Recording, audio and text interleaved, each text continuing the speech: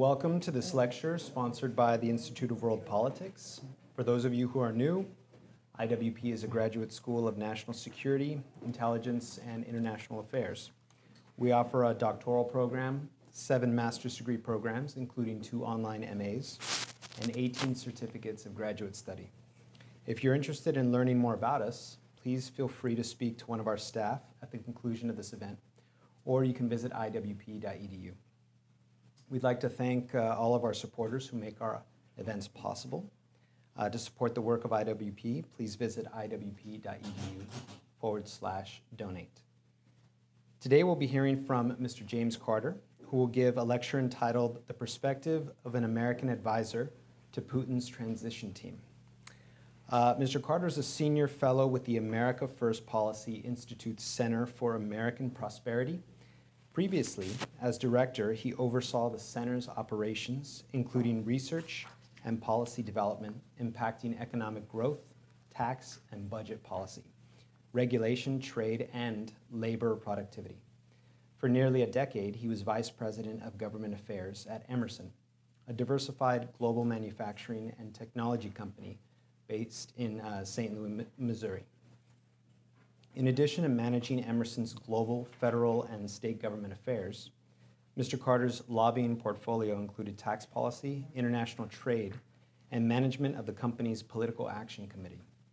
Before joining Emerson, Mr. Carter served in the Bush and Clinton administrations as a senior staff member on the Senate Budget Committee and as a policy advisor to former Senators John Ashcroft, Sam Brownback, and Connie Mack. He served as a deputy undersecretary at the Department of Labor, a deputy assistant secretary at the Department of Treasury, and associate director of the National Economic Council at the White House. While at the Treasury Department, he received the Secretary of the Treasury's Exceptional Service Award and a separate award for his work on behalf of the Jobs and Growth Tax Relief Reconciliation Act of 2003.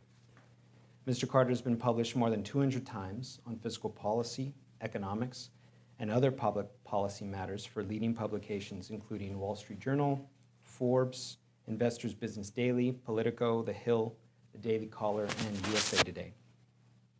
He's a frequent speaker, including as an adjunct professor at the George Washington University and as a lecturer in the public management program at Johns Hopkins University. He's a 2014 recipient of Johns Hopkins University's Excellence in Teaching Award, and he also appeared in season three of House of Cards, playing a U.S. Senator. Uh, he recently served on the board of directors for both the Missouri Chamber of Commerce and the National Capital Chapter of the Alzheimer's Association.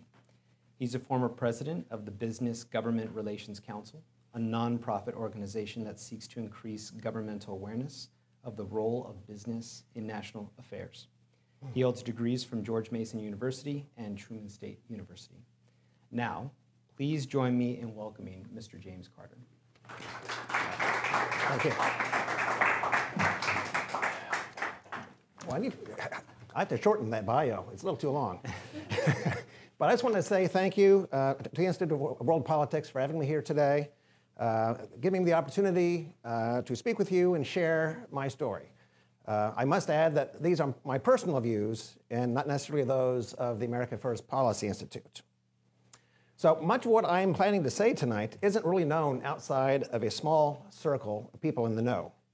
So I hope you find these uh, behind the scenes stories insightful and, if nothing else, entertaining. So let's begin. So uh, in 1998, I worked for Senator John Ashcroft of Missouri. I was his budget and tax aide. Uh, I came in the office one day and learned that President Clinton had called for a 73% increase in aid to Russia. Now, at this point, Boris Yeltsin was president. Uh, they were trying to move towards the West, trying to liberalize their economy, but they were having a, a tough go of it. So I th thought about that for a bit, and it occurred to me what we need is more trade with Russia, not more aid necessarily. In fact, at the time, we traded more with certain Caribbean islands than we did Russia. So I came up with an idea. I came up with the idea of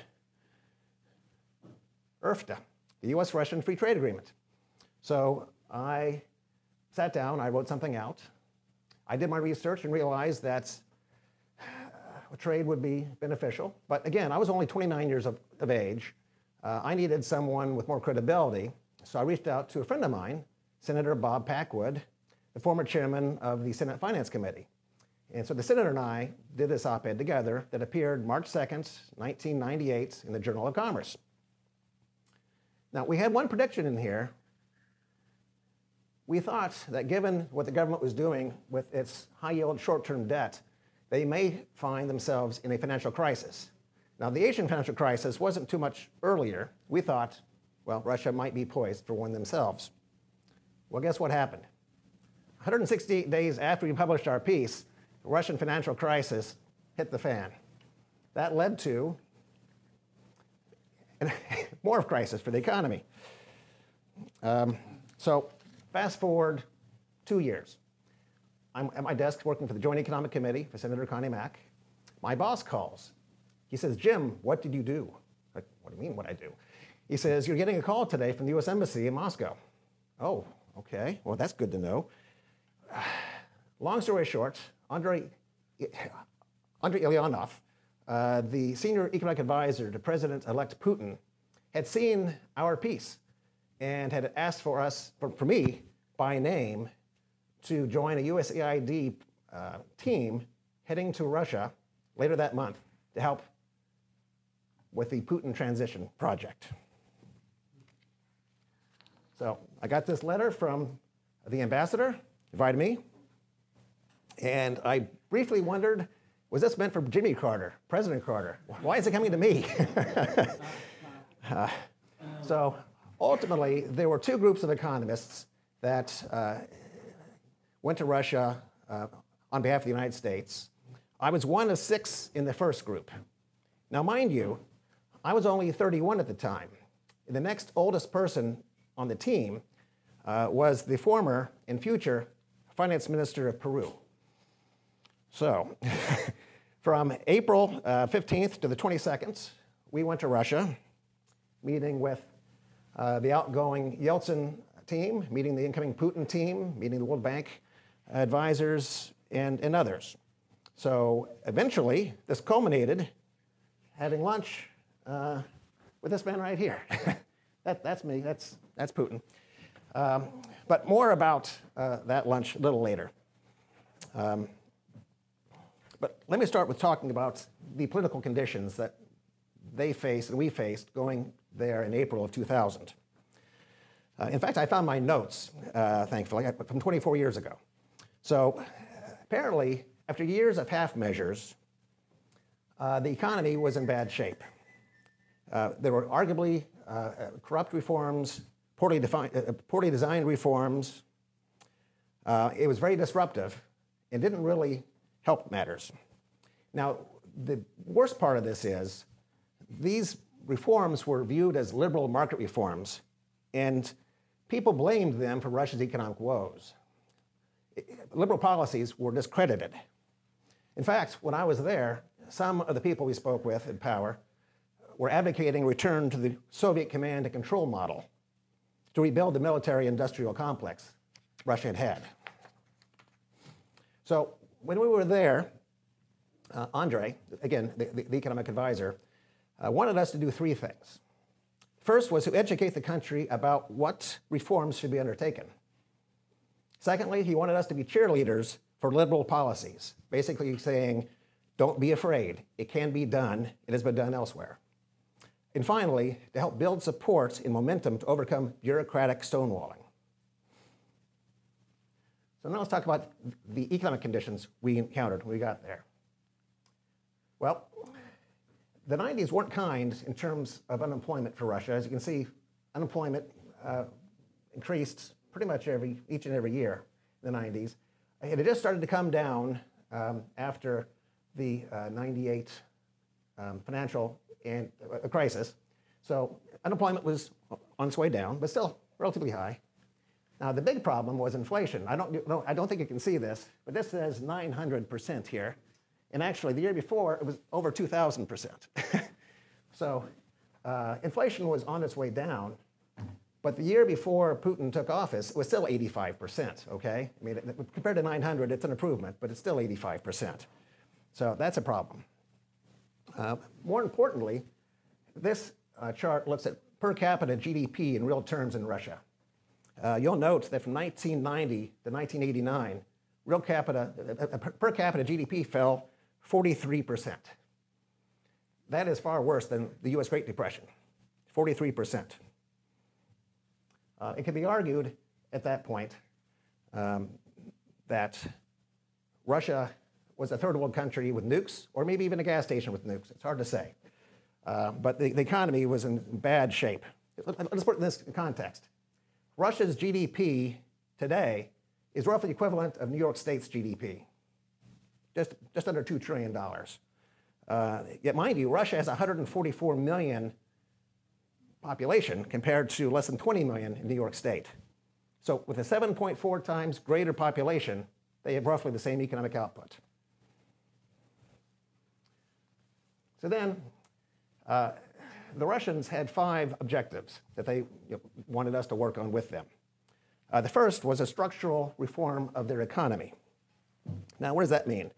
Basically, they wanted to introduce market driven competition and cease direct and indirect subsidies uh, to the very in, uh, unproductive uh, um, um, um, businesses there.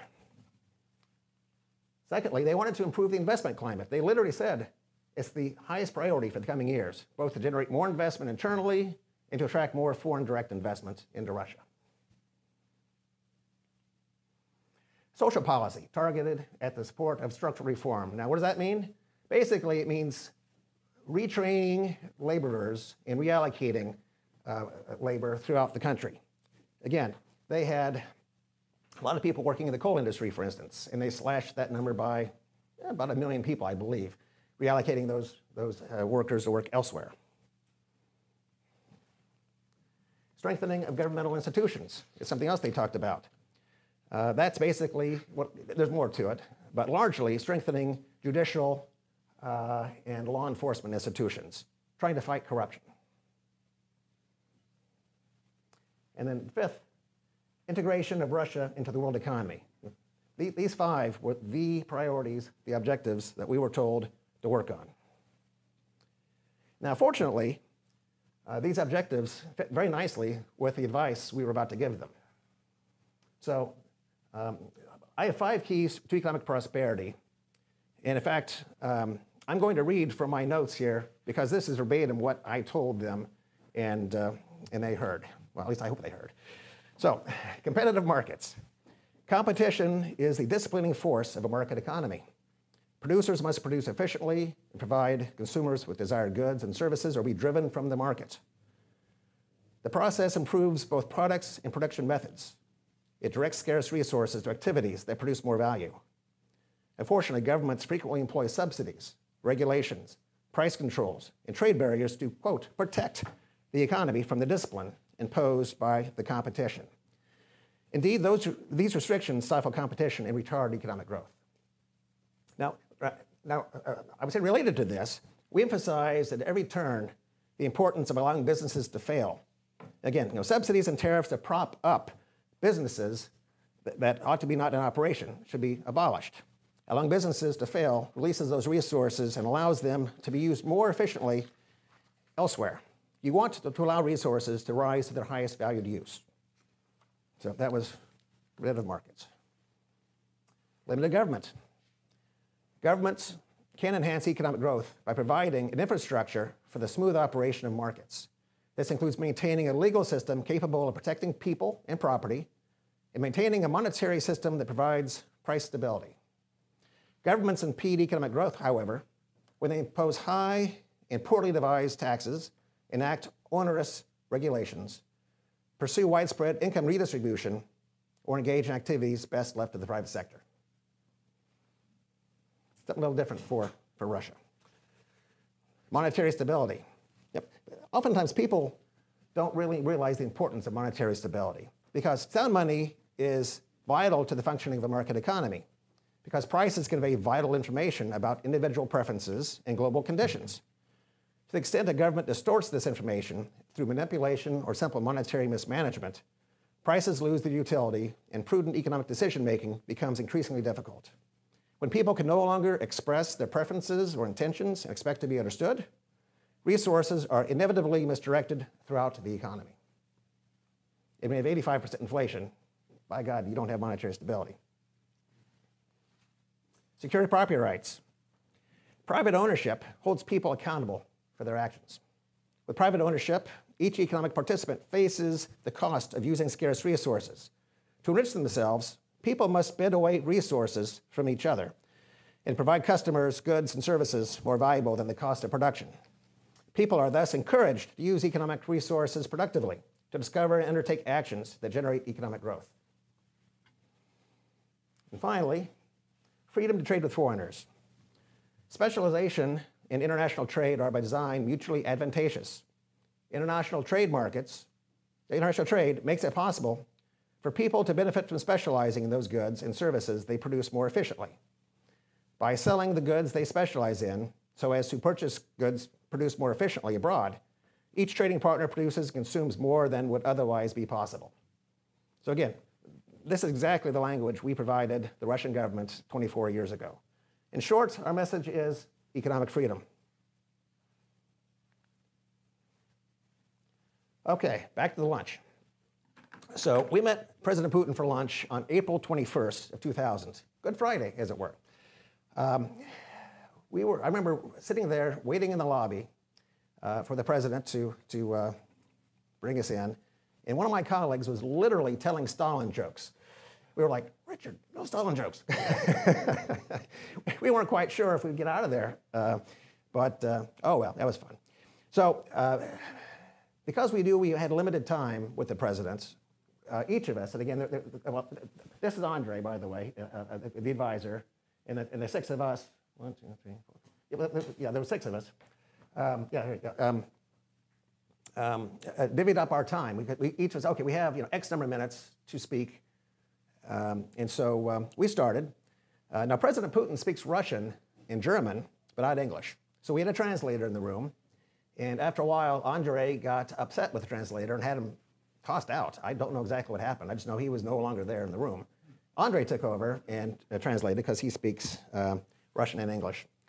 So um, this brings me to my part of the story, which actually features a Yugo, of all things. I, I, who here remembers the Yugo? Remember Yugo? Yeah? Okay, good. Some, some people know Yugos. Yeah, as you may know, Yugo, uh, well, is a very poorly manufactured car uh, from 1980 until 2008. Um, and it's, it plays a, a role in my comments to the president. Hey, Lola. So um, I wanted to convey the notion that, it, that it's important to have all five of those five elements I, I outlined, you know, a, a, a competition, living in government, freedom of trade, foreigners, that sort of thing. And I made the point that if you have, you know, four of the five, but not all five, or three of the five, you're not going to get the, get the performance you thought you would want to get out of an economy. I gave the example of having a, a fine sports car, okay? A, a, fine sports car, but with the engine of a Yugo. I said, you're not going to get the performance you expected out of that sports car. And so uh, Andre translated that. Uh, President Andre went back and forth for a minute. And then um, uh, Andre said, uh, the president wants to know, what's a Yugo? had never heard of a Yugo, which I, I assumed, you know, Yugoslavia and all, he would know. But uh, oh well. Uh, that actually does remind me of a funny Reagan joke uh, that I thought I would tell now because why not? Ah, so, uh, in Soviet Russia, Reagan said, a man goes to buy a car. He goes up to the owner and asks for the car, to which the owner responds, Well, you know, there is a 10 year waiting limit. So the man says, Okay. And after some time, he then agreed to buy the car. So he pays for the car in advance. And just before he leaves, he asks the owner, Can I pick up the car in the morning or afternoon? And, uh, and, so, and so the guy selling the car says, It's 10 years away. What does it matter when you, morning or afternoon?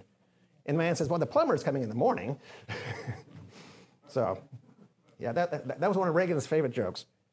So I wanted to toss it in there. So, uh, but in addition to these broad principles they outlined, and of course, the explanations why we were putting forth these principles, we also came up with some concrete proposals.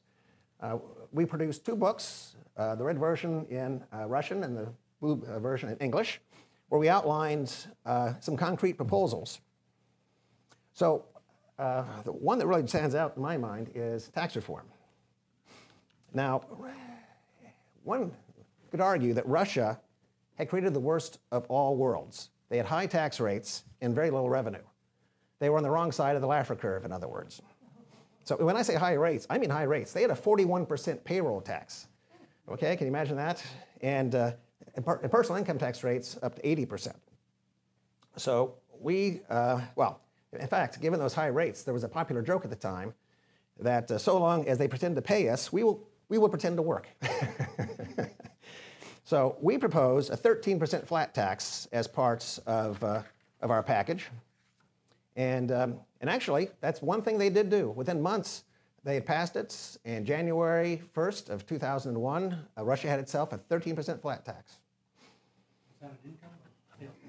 Per- Personal income tax. Personal income tax, yes. So, what's the aftermath of all this? Well, we came back uh, to the US and there were some articles written uh, about our trip over there. And let's see here. Oh, yes. And in the first year, uh, the uh, uh, tax revenue from our 13% flat tax jumped 26% in real terms. So, what we said would work actually did work. Now, unfortunately, Andre uh, fought for years to push for free market policies, market driven policies.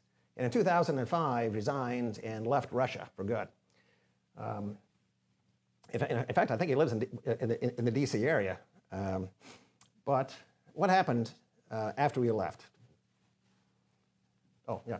Uh, uh, uh, Andre said Russia is no longer politically free, run by state corporations acting their own, in, acting their own interests. It's one thing to work for a country that is partly free. Another thing when the political system has changed and the country has stopped being free and democratic. So, unfortunately, um, even though Andre was there pushing for market policies, market reforms, uh, Russia remained unfree. Now, this is a chart from the Heritage Foundation's Index of Economic Freedom. Uh, and I'm sorry to say that actually they became less free in the, in, in the two years following our visit than they were prior to our visit. Uh, and they vacillated between uh, mostly unfree and repressed. Today, Russia is the 125th most free of 175 countries. So I can't say we really pushed the needle there all that much. But let's see what the outcomes were. Oh, yes. Okay. So um, in 2023, uh, Heritage cites corruption, lack of judicial independence, disrespect for private property rights, and state interference for why they are so unfree. Now let's see the outcomes.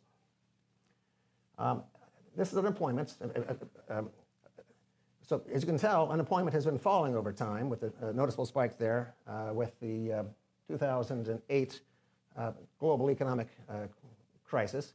But it has remained stubbornly high, but it, it's, it's getting down there. Uh, by the way, all this is, is, is, uh, is uh, World Bank data, by the way, all, all findable online. Uh, inflation, well, as you can tell, again, 900%, that looks pretty good, right? Well, if you actually dig down deep, I, I lopped off the earlier years, you'll still notice that double digit inflation has ravaged Russia for a good part of um, well, the last 20 years. So that's, that's not good. Uh, and this is per capita GDP uh, in Russia. Um, actually, in the years following uh, the implementation of the flat tax, Russia did see some good uh, uh, growth. Did see some good growth. Uh, following 2008, uh, they have really slowed uh, quite a bit, however. Again, they've not implemented the policies they would need to get economic growth. So I asked myself, what if? What if they had actually implemented the sort of things that we had advised? So again, this is the Index of Economic Freedom, showing that, you know, again, mostly unfree or repressed. But let's take an example of, say, Poland. Poland actually was more repressed than Russia back in the day, but then moved much more strongly into free market policies. And I think the results are, well, telling. So back in the day, Poland's per capita GDP, uh, well, Russia's was 24, let's see here, let me find this.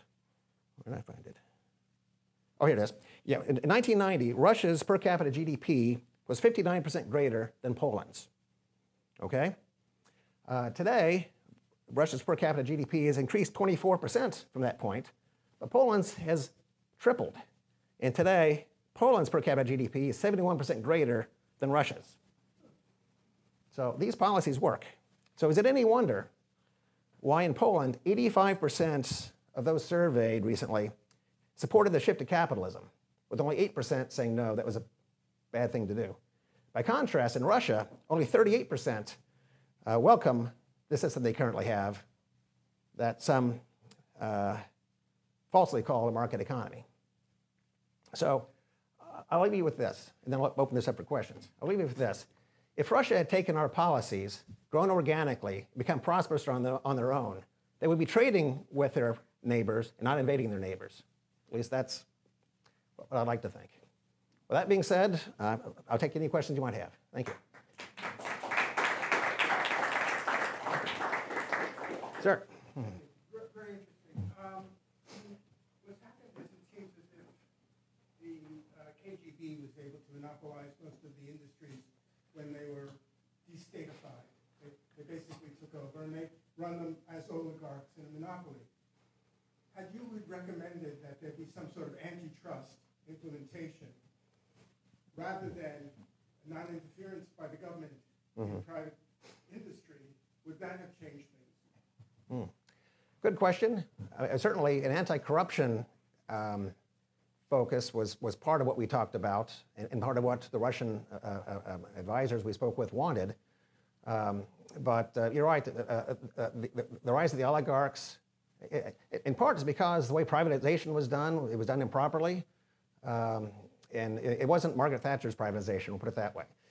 Uh, if they had privatized like Margaret Thatcher had in, in, in Britain, we might have seen something very different. Thank you. Yes, sir. Yeah. Um, Today, today's Russia, despite the war, despite the economic sanctions, uh, boosted its production. The salaries are growing. The mm, basically people people are going out more to restaurants. Some people call it uh, military Keynesi- Keynesianism. Some people say no, it's a different reason. But how long do you think Russia can uh, keep growing and instead of failing as all, all of us expected when the war started and Russia, all kind of sanctions were thrown at at the economy? So two things come to mind. First of all, of course, the impact of uh, oil prices on Russia are, are key. Um, they have made billions uh, off of uh, uh, uh, oil prices. Uh, at the same time, they've also shifted to more of a wartime uh, footing, a wartime economy. Um, but again, uh, that can only be kept up for so long. I, Marie, do you know? Uh, No, I was just gonna say, I think it was in a Wall Street Journal article, they were saying that uh, Russia has uh, now been more aligned with China, and China has taken up a lot of the space Yes. that uh, a lot of the European countries and the United States have done. So Yes. therefore, um, you're not really seeing some of the problems there. The other thing I was just gonna say is I, I went to Russia on a project, uh, with a US State Department um, about twenty years ago, and it was in the area of tourism. Uh, the, the country doesn't, didn't really have a robust tourism sector. And what I was, I was just gonna say that I learned about that was that, um, people really didn't know anything about business and break-even analysis. Mm. So they didn't know how to make money. And I think the interesting thing that I gleaned from that was that, uh, the people that were the oligarchs or the KGB people were the same people that now were going to become business people. And from my experience in traveling in the organization of American Council of Young Political Leaders, Mhm. I saw the same thing. Um, because what happens is everybody thinks these are different. I mean, one day you're one person, the next day you're different, but it's still that hierarchy and that leadership. So it's really hard to get away from that. Uh,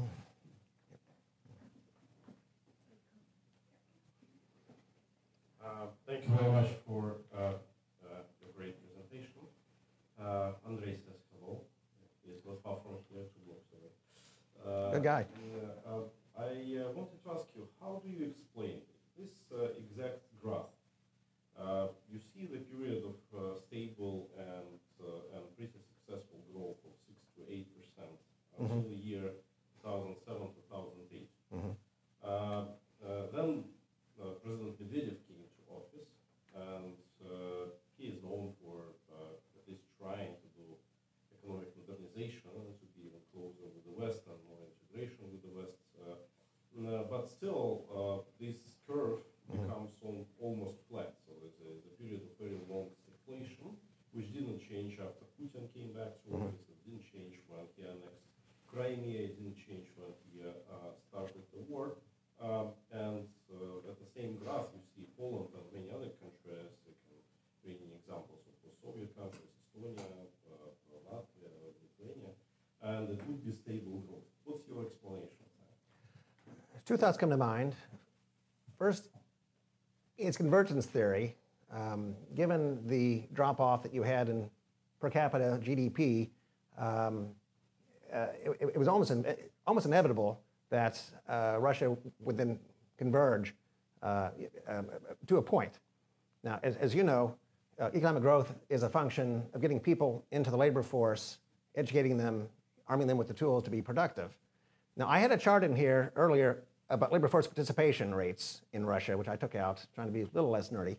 And uh, you'll notice from 2000, uh, from, uh, from 90 until about uh, 98 or so, there was a huge drop off in labor force participation in Russia. And I think it's fairly well established that someone who doesn't work doesn't produce anything.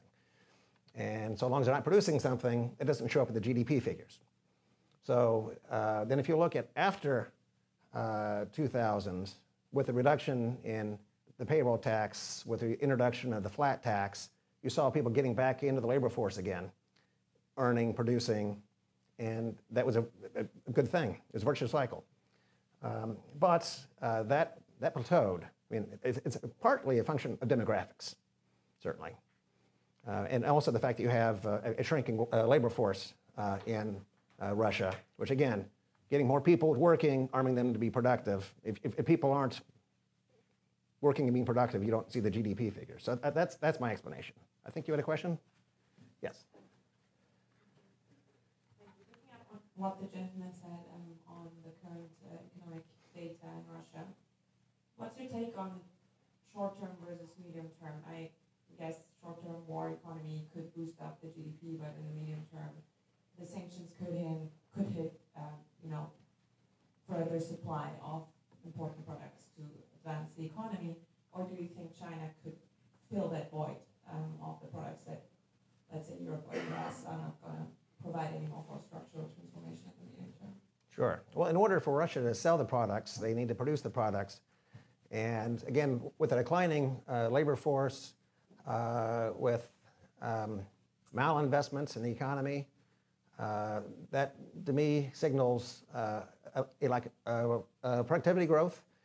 Uh, and so, unless there's a change in policy that you know again gets more people in the labor force and gives them the tools to be productive, and actually a system again, which you know where prices function the way they're supposed to function, um, and regulations you know are, taken away that you know really make it difficult to do business. Uh, I don't see the medium or long term being all that favorable for Russia. Uh, the short term, well, that's the short term, but medium and long term, no, I do not.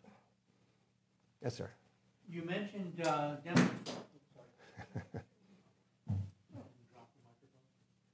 You mentioned demographics.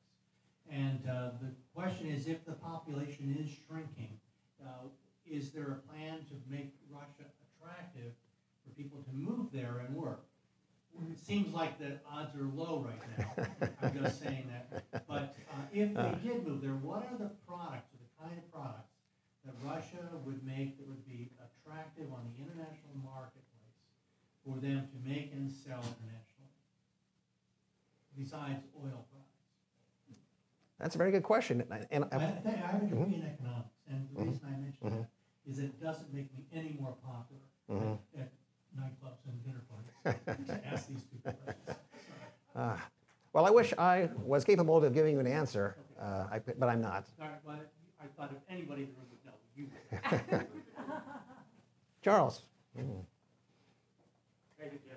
Uh, So in the 1990s, I was involved for a while with the Alliance to Save Energy, which was running a program called the uh, Kaliningrad Defense Conversion Initiative.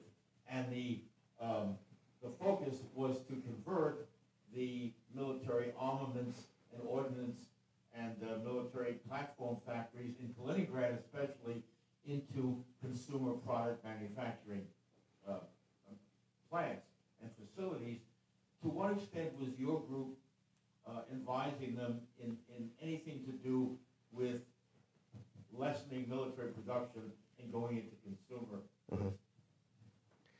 So by the time we got there, I believe uh, Russia's military defense spending had, al- had already fallen considerably.